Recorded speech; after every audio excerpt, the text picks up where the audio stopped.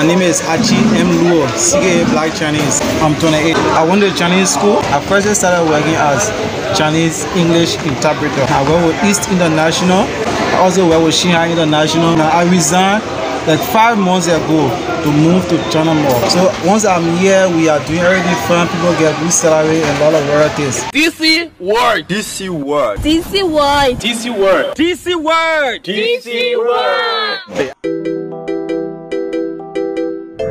word.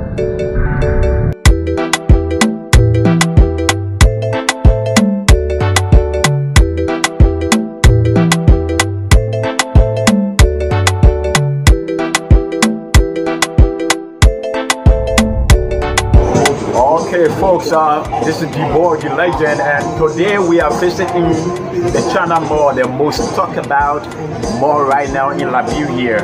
We want to uh, showcase most of their products, their prices, their qualities, and the demands that we have in Liberia for these products. China Mall.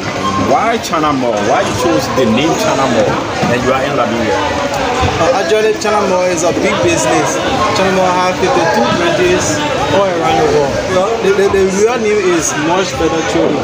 Okay. Yeah, so we use China Mall on all our placards. Okay, so how long China Mall has been in existence?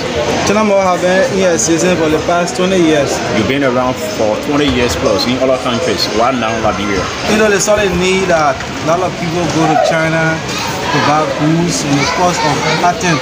They are all expensive in other places. So Mall is here for several years. So we have, we have the best price that nobody can beat in the entire country. China Mall is a, is a Chinese company or is a Liberian company? It's a Chinese company. What are you doing? Why you guys have chosen to sell on a holiday? Because this is a, a policy of China Mall all around the world. So we, have our permit from the city corporation here.